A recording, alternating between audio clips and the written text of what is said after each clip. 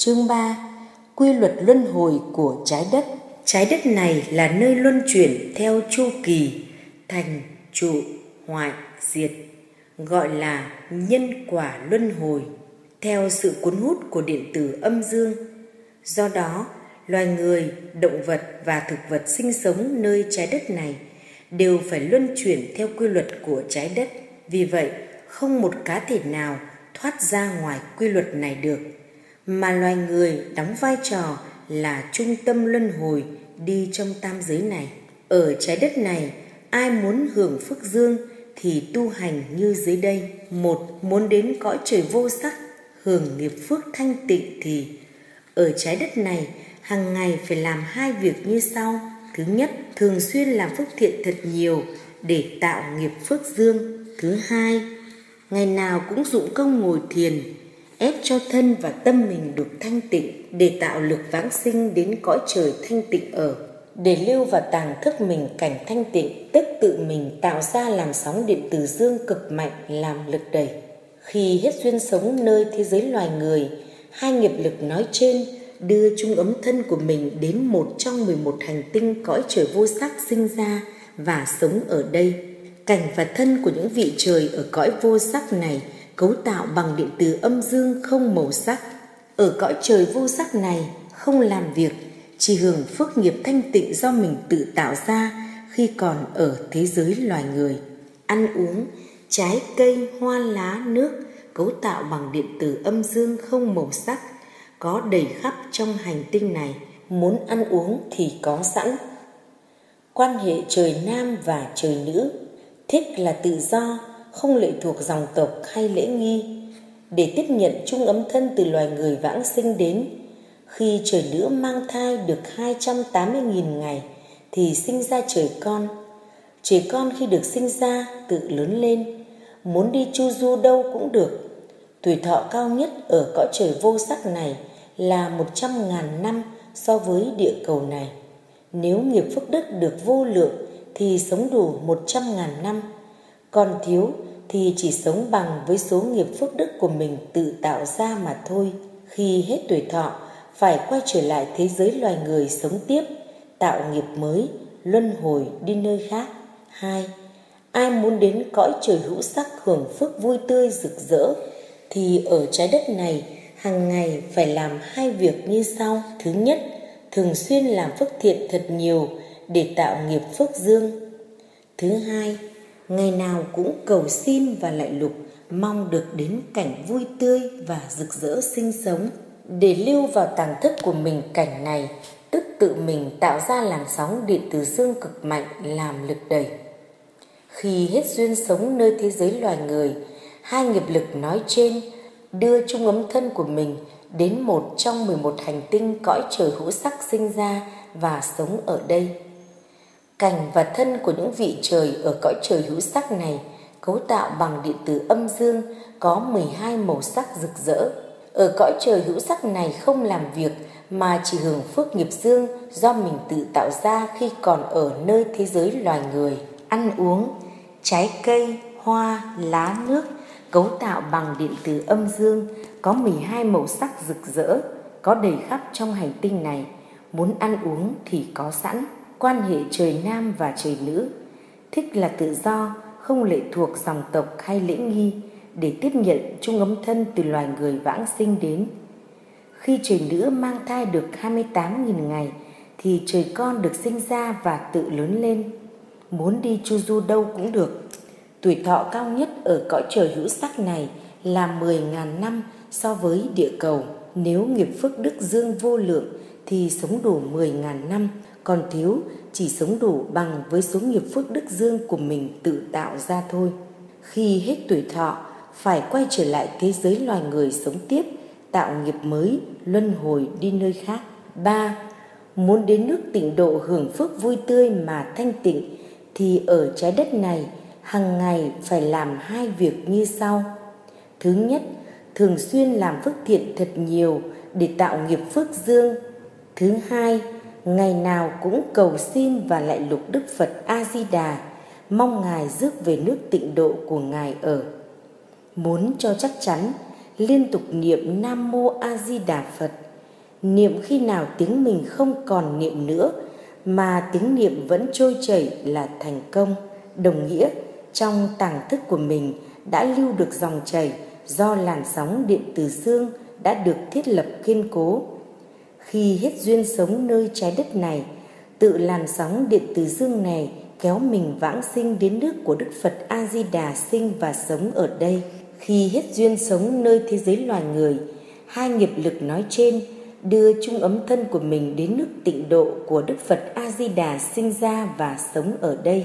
Cảnh vật và sự sống ở nước tịnh độ như sau: cảnh vật và thân tiên nam tiên nữ cấu tạo bằng 12 màu sắc điện tử âm dương rực rỡ.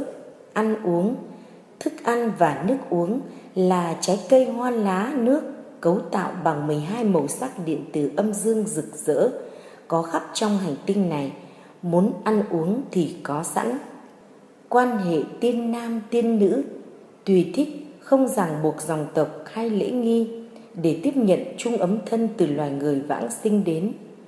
Khi tiên nữ có thai, bay đến ao sen đẻ trong hoa sen một noãn tiên lưu giữ trong đó, để đúng ngày tháng mới sinh ra, một tiên con được sinh ra tùy theo noãn tiên đó ở trong hoa sen nào của cửu phẩm liên hoa như dưới đây. Một, thượng phẩm thượng sinh, một năm được sinh ra. Hai, thượng phẩm trung sinh hai năm được sinh ra. Ba, thượng phẩm hạ sinh. Ba năm được sinh ra. Bốn, trung phẩm thượng sinh. Bốn năm được sinh ra. Năm, trung phẩm trung sinh. Năm năm được sinh ra. Sáu, Trung phẩm hạ sinh. Sáu năm được sinh ra. Bảy, Hạ phẩm thượng sinh. Bảy năm được sinh ra. Tám, Hạ phẩm trung sinh. 8 năm được sinh ra 9. Hạ phẩm hạ sinh 9 năm được sinh ra Nơi chín phẩm nói trên Một vị tiên con được sinh ra tự lớn lên nếu nghiệp phước đức đủ thì tuổi thọ là 10.000 năm, còn nghiệp phước đức có bao nhiêu thì sống đủ với nghiệp phước của vị tiên đó mà thôi. Đời sống ở nước tịnh độ này như sau. Sáng nào cũng đi cúng các nơi thờ Phật quá khứ. Khi làm xong công việc, muốn đi chu du đâu cũng được. Mỗi tháng có một ngày học công thức giải thoát. Sinh hoạt tiên nam tiên nữ tùy thích không ràng buộc dòng tộc khai lễ nghi để tiếp nhận chung ấm thân từ loài người vãng sinh đến ăn uống thì có trái hoa lá nước có để khắp trong nước tịnh độ này khi hết tuổi thọ phải quay trở lại thế giới loài người, tạo nghiệp mới để luân hồi đi nơi khác đặc biệt, ở nước tịnh độ này, khi vị tiên hết tuổi thọ, trước khi quay trở lại thế giới loài người, được Đức Phật A Di Đà dẫn ra ao sen. Ngài nhổ một cành hoa sen đưa cho vị tiên ấy xem.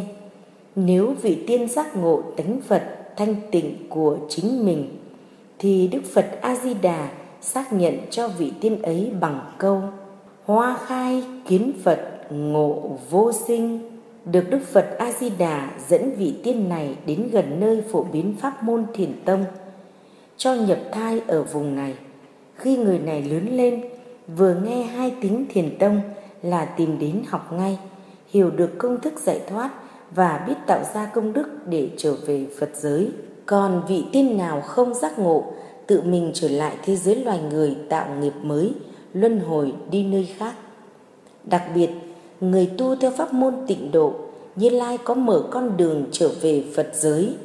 Người nào muốn trở về Phật giới thì phải có năm phần như sau một là phải có đầu óc thực tế không mê tín hai là không tin những chuyện linh thiêng huyền bí ba là không cầu khẩn hay lạy ai bốn là không sử dụng thân tâm tu hành năm là lúc nào cũng ham muốn giải thoát người nào có đủ năm đức tính nói trên thì người này sẽ được một vị phật trong phật giới sử dụng ánh sáng điện tử quang trong phật nhãn điều khiển cho người này đến nơi phổ biến pháp môn giải thoát. Sau một thời gian, người này sẽ rõ thông tất cả những gì mà Như Lai dạy giải thoát ở pháp môn tịnh độ này. Danh hiệu lục quốc tịnh độ ở trong tam giới này như sau. một, Nước tịnh độ của Đức A Sơ Bệ Phật ở hướng đông mặt trời. hai, Nước tịnh độ của Đức Phật A Di Đà ở hướng tây mặt trời. ba, Nước tịnh độ của Đức Nguyệt Đăng Phật ở hướng nam mặt trời. bốn, Nước tịnh độ của Đức Phật Diệm Kiên Phật ở hướng bắc mặt trời. năm Nước tịnh độ của Đức Phạm Âm Phật ở hướng trên mặt trời. 6. Nước tịnh độ của Đức Sư Tử Phật ở hướng dưới mặt trời. 4. Ai muốn đến cõi trời tứ thiên vương hưởng phước và làm việc thì ở trái đất này hàng ngày phải làm hai việc như sau. Thứ nhất, thường xuyên làm phước thiện thật nhiều để tạo nghiệp phước dương. Thứ hai, lúc nào cũng ham muốn điều hành các hành tinh trong tam giới. Khi hết duyên sống nơi thế giới loài người, hai nghiệp lực nói trên đưa chung ấm thân của người này đến cõi trời tứ thiên vương sinh ra và sống ở đây. Cảnh và thân của trời tứ thiên vương cấu tạo bằng năm màu sắc điện tử âm dương rất đậm. Ở cõi trời tứ thiên vương này luôn lúc nào cũng làm việc như sau. Canh chừng xem có hành tinh nào quay lệch tâm thì điều hành cho đúng quỹ đạo lại.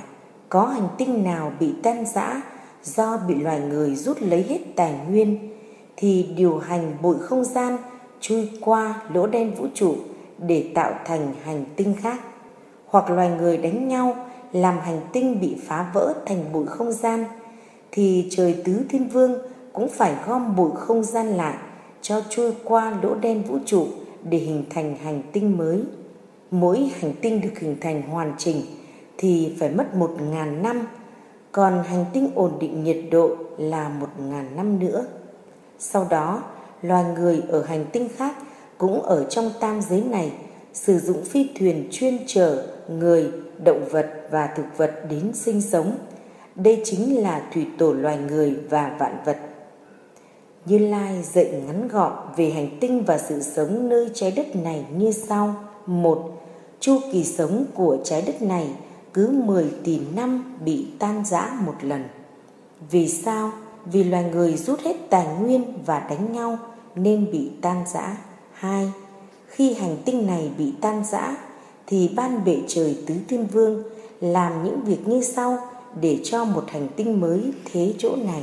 Một, đầu tiên điều khiển điện từ âm dương chui qua lỗ đen vũ trụ vào trung tâm sản xuất hành tinh tạo ra vòng quay gọi là sức hút điện từ âm dương. Khi vòng quay này đạt chuẩn Kế tiếp, ban bệ trời tứ thiên vương. 2. Điều khiển hành tinh lửa chui qua lỗ đen vũ trụ vào trung tâm sản xuất hành tinh, quay thành một hành tinh lửa. Khi hành tinh lửa quay đạt chuẩn, ban bệ trời tứ thiên vương. ba Điều khiển hành tinh đất chịu nhiệt chui qua lỗ đen vũ trụ, bao trùm hành tinh lửa này lại, tạo thành là một hành tinh đất chịu nhiệt bên trong là một khối lửa khổng lồ. Khi hành tinh đất chịu nhiệt này bao trọn vẹn được khối lửa khổng lồ và quay đạt chuẩn. Ban bệ trời tứ thiên vương 4. Điều khiển hành tinh đất và cát chui qua lỗ đen vũ trụ, phủ đầy trên lớp đất chịu nhiệt này, để làm lớp đất cho muôn loài sinh sống. Khi hành tinh đất hút dính vào lớp đất chịu nhiệt và đạt chuẩn, ban bệ trời tứ thiên vương. Năm, điều khiển hành tinh đá chui qua lỗ đen vũ trụ và giải nhiều nơi trên mặt đất này để tạo thành núi khi lớp đá được giải đúng theo ý muốn của trời tứ thiên vương và đặt chuẩn phân bổ, ban bệ trời tứ thiên vương sáu điều khiển hành tinh nước và muối chui qua lỗ đen vũ trụ để phủ đầy hành tinh đất đá này. Bảy Tiếp theo, ban bệ trời tứ thiên vương điều khiển hành tinh không khí chui qua lỗ đen vũ trụ cho bao phủ hành tinh lửa đất đá này khi đặt chuẩn hình thành ra là một hành tinh tứ đại. 8. Kế tiếp, ban bệ trời tứ thiên vương kiểm hành tinh tứ đại này xem coi có đạt chuẩn hút vật lý chưa. nếu đã đạt chuẩn rồi thì chín Ban bệ trời tứ thiên vương điều khiển hành tinh này ra ngoài trung tâm sản xuất hành tinh và điều khiển vào vòng quay hoàng đạo một của hệ mặt trời. Thế chỗ mà trước kia có một hành tinh cũng tứ đại và điện tử âm dương do loài người phá bỏ. 10. Khi hành tinh tứ đại và điện tử âm dương được đưa vào vòng hoàng đạo một của hệ mặt trời. Khi nào hành tinh này ổn định được nhiệt độ, thời tiết, sức hút điện tử âm dương và mưa vật lý được hoàn hảo, thì ban bệ trời tứ thiên vương 11 quan sát trong bụi không gian có những manh bụi nào còn thực vật sống trên đó liền cho điện tử âm hút mạnh bụi còn thực vật sống trên đó đem đến hành tinh này và giải đều lên mặt đất để tạo ra sự sống thực vật. 12. Sau cùng, ban bệ trời tứ thiên vương xem các hành tinh lân cận, xem hành tinh nào bị loài người sắp phá bỏ và có người muốn đến hành tinh này sinh sống. Ban bệ trời tứ thiên vương liền điều khiển điện tử âm phụ giúp những phi thuyền có chở người đến hành tinh này sống để làm thủy tổ loài người. Tuần tự 12 phần như vậy, trải qua cả tỷ năm, nhưng tuổi thọ của mỗi hành tinh tồn tại có 10 tỷ năm, rồi bị loài người phá bỏ nữa. Nói về sự sống của loài người, ban đầu loài người sống vui tươi và hòa nhã với nhau, dần dần sinh sản ra nhiều, tranh giành đất đai và quyền lợi, rồi lập lại quy luật mạnh được, yếu thua, sau cùng phá bỏ hành tinh này cứ mỗi lần loài người sống trên hành tinh này đánh nhau chí tử, là hành tinh này bị bệnh sau bảy ngàn năm được ổn định trở lại, mới có một vị Phật ra đời, dạy công thức vượt ra ngoài vòng luân chuyển của trái đất và một tam giới. Khi một vị Phật ra đời dạy giáo pháp giải thoát tồn tại có ba ngàn năm. Sau đó, loài người đánh nhau trí tử nữa. Trái đất này lại bị bệnh nữa. Cứ chu kỳ trái đất bị bệnh là mười ngàn năm. Khi trái đất bị bệnh đúng một triệu lần, thì trái đất hoàn toàn bị tan rã thành bụi không gian. Như Lai cũng nói cho các ông rõ. Trước khi Như Lai dạy đạo giải thoát, ở trái đất này từ đông sang tây loài người không ai biết được sự sống chân thật nơi trái đất này. Vì vậy, người khôn lường gạt người ngu, còn người ngu lại tin tuyệt đối vào người khôn, nên gieo nhân quả với nhau không ngày cùng. Bổn phận của mỗi vị Phật là dạy sự thật cho loài người biết. Nhưng khi Như Lai nói sự thật ra, thì bị hai loại người khôn và ngu này chửi. Vì vậy, Như Lai dạy các ông và các người đời sau muốn phổ biến pháp môn giải thoát này phải tuân thủ hai điều. Một, không phổ biến chỗ đông người. Hai, người nào thật tình muốn giải thoát thì mới dạy họ nhưng phải đợi họ năn nỉ hết lời. Nếu người nào không vâng lời Như Lai thì thân mạng của người đó xem như bỏ đi vậy. Như Lai dạy thêm, ở trái đất loài người thích nhất ba việc như sau một là thích cầu xin và lạy lục người khác. Hai là thích người khác ban phước cho mình. Ba là thích làm con hay tôi tớ cho người khác. Giáo pháp giải thoát này phải đợi khi nào loài người văn minh lên cao, họ mới chấp nhận. Khi có nhiều người chấp nhận rồi, cũng là đến lúc trái đất này sẽ bị bệnh nữa. Lúc đó, trái đất này loài người không còn được bao nhiêu. Vì sao vậy? Vì con người sử dụng cách tưởng tham và sợ của tánh người nên, một, thích cầu xin lạy lục người hứa ảo. Hai, thích nghe những người lường gạt. Ba, thích người có sắc diện đẹp. Bốn, sợ những lời hù dọa của người khôn. Năm, sợ linh thiêng huyền bí. Sáu, sợ thần thánh ma quỷ. Con người có ba cái không? Một, không chịu tìm hiểu sự thật hai, không chịu tự mình làm chủ đời mình. Ba, không chịu từ bỏ danh lợi. Con người có ba cái dại. Một, ai nói gì cũng nghe. Hai, ai bày gì cũng làm. Ba, ai bảo chết cũng chết. Như lai dạy rõ về đạo giải thoát có bốn thời kỳ. Thời kỳ một, gọi là thời kỳ thượng pháp, từ khởi đầu đến 500 năm. Thời kỳ 2 gọi là thời kỳ trung pháp từ 500 đến 1000 năm. Thời kỳ 3 gọi là thời kỳ hạ pháp từ 1000 đến 2000 năm. Thời kỳ 4 gọi là thời kỳ mạt pháp từ 2000 đến 2500 năm. Thời kỳ mạt pháp chia ra làm 5 giai đoạn. Giai đoạn 1 là thời kỳ mạt thượng pháp từ 2500 đến 2600 năm. Giai đoạn 2 là thời kỳ mạt trung pháp, từ 2600 đến 2700 năm. Giai đoạn 3 là thời kỳ mạt hạ pháp, từ 2700 đến 2800 năm. Giai đoạn 4 là thời kỳ mạt mạt pháp, từ 2800 đến 2900 năm. Giai đoạn thứ 5 là thời kỳ hạ mạt pháp, từ 2900 đến 3.000 năm là đúng chu kỳ của trái đất bị bệnh nặng nữa. Trái đất này bị bệnh đúng một triệu lần như vậy rồi mới tan rã hoàn toàn thành bụi không gian, tức tuổi thọ của trái đất là 10 tỷ năm. Năm, ai muốn đến cõi trời Ngọc Hoàng, Thượng Đế để hưởng phước trong khuôn khổ trang nghiêm, thì ở trái đất này hàng ngày phải làm hai việc như sau.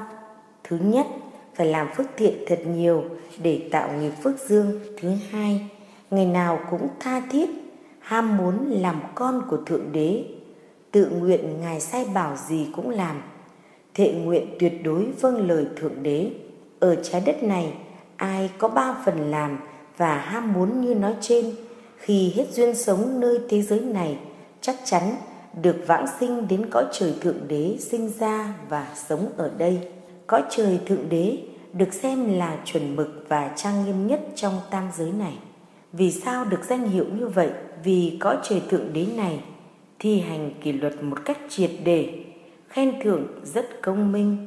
Do vậy, loài người sống ở trái đất này từ cao nhất là vua xuống quan và dân, ai ai cũng thích sinh sống cõi trời thượng đế này để hưởng hai phần được làm con của chúa trời thượng đế, được ở bên cạnh hầu hạ chúa trời thượng đế. Vì có hai danh dự quá lớn như vậy, nên ở địa cầu này, ai ai cũng ham muốn vãng sinh đến cõi trời thượng đế này sinh sống. Muốn chắc một trăm phần trăm thì phải tin tuyệt đối thượng đế là đấng tối cao có quyền năng tuyệt đỉnh, không phản bội ngài phải giúp đỡ người nghèo khó và vâng lời những vị đại diện thượng đế. Ngày đêm, ít nhất sáu lần cầu xin lên ở với ngài. Vị nào ở trái đất này mà thực hiện đúng các phần nói trên, khi hết tuổi thọ sống nơi thế giới này, chắc chắn được vãng sinh lên cõi trời thượng đế sinh và sống ở đây. Thượng đế có dạy bốn phần như sau. Một, cõi trời thượng đế là nơi sống đời đời hai, không đau khổ. Ba, với điều kiện là đừng vi phạm luật trời ở đây. Bốn, thượng đế có dạy rất rõ. Cõi trời thượng đế nằm ngoài quy luật nhân quả luân hồi trong tam giới này. Ăn uống thì có trái cây, hoa, lá, nước có sẵn khắp trong hành tinh cõi trời thượng đế. Chu du nơi nào cũng được. Quan hệ trời nam và trời nữ do những vị trong ban điều hành có trời thượng đế sắp xếp ở trong khuôn phép và lễ nghi rất chuẩn mực để tiếp nhận chung ấm thân từ loài người vãng sinh đến trời con được sinh ra tự lớn lên không cần trời cha mẹ trợ giúp 6. Ai muốn đến cõi trời dục giới sinh sống hưởng phước dương thật mạnh thì ở trái đất này hàng ngày phải làm hai việc như sau. Thứ nhất, phải làm phước thiện thật nhiều để tạo nghiệp phước dương. Thứ hai, khi làm phước chỉ một lòng ham muốn sinh sống vui chơi đủ thứ có cảm giác thật mạnh. Làm phước càng nhiều càng tốt, khi hết tuổi thọ nơi trái đất này thì chắc chắn được vãng sinh đến cõi trời dục giới sinh ra và sống ở đây. Hưởng phước ở cõi trời dục giới này là tự do, muốn hưởng gì cũng có. Tuổi thọ ở các cõi trời dục giới là một ngàn năm. Khi hết tuổi thọ, phải quay trở lại thế giới loài người sống tiếp tạo nghiệp mới, luân hồi đi nơi khác. 7. Trái đất có 5 loài sống chung gồm một loài thần, ai muốn luân hồi vào cõi thần hưởng phước âm thì phải làm hai việc như sau. Một, tạo nghiệp phước thật nhiều. Hai, khi làm phước phải là người đứng đầu nhóm để tạo bản lĩnh là người lãnh đạo, để tạo nghiệp phước âm, tạo lực cuốn hút. Khi hết duyên sống nơi thế giới này, chắc chắn được luân hồi vào cõi thần sinh ra và sống ở đây.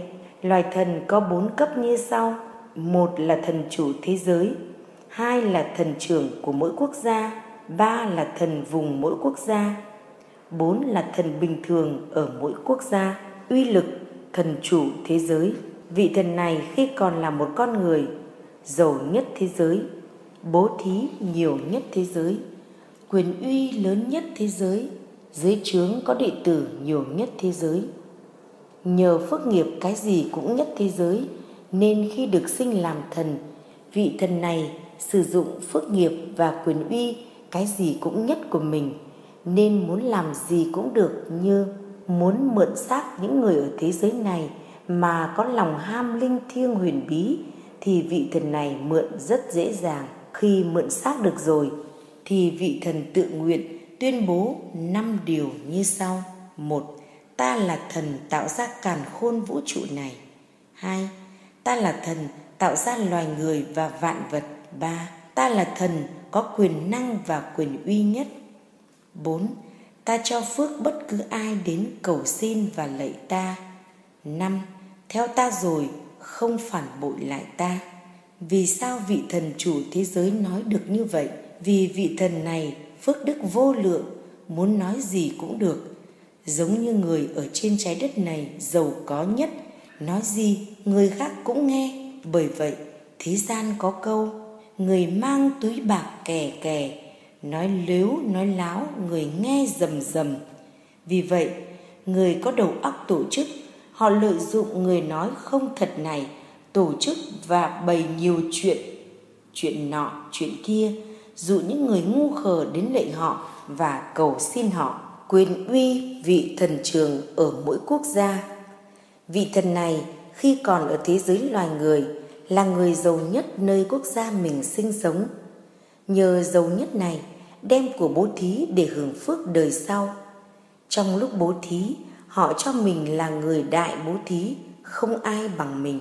Do ngã chấp lớn như vậy, nên khi hết duyên sống nơi thế giới loài người, được sinh làm thần. Nhờ phước đức vô lượng này, khi làm thần, muốn nói gì cũng được, quyền hạn của vị thần này chỉ nằm trong phạm vi quốc gia của thần đó mà thôi. Mỗi quốc gia có một vị thần trưởng. Trên trái đất này có bao nhiêu quốc gia thì có bao nhiêu thần trưởng uy lực của thần trưởng.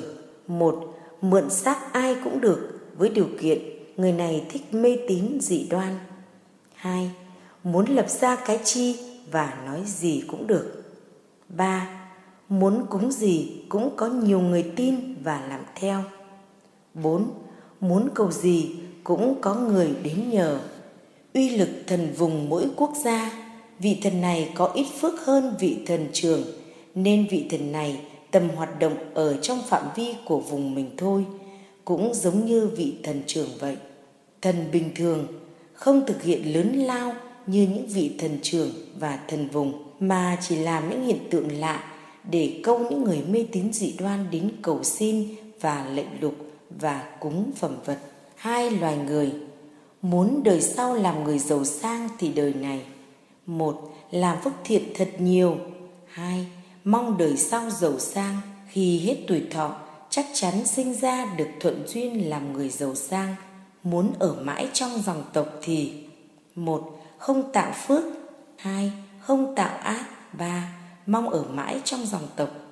Khi hết tuổi thọ thì cứ luẩn quẩn ở trong dòng tộc để trả nhân quả nhẹ với nhau. Muốn làm ngạ quỷ thì danh giật của người khác, lương gạt người khác hết tuổi thọ được làm loài ngạ quỷ ngay. Muốn làm loài súc sinh, muốn làm loài nào thì sát hại loài đó. Muốn làm loài địa ngục, gây trọng tội.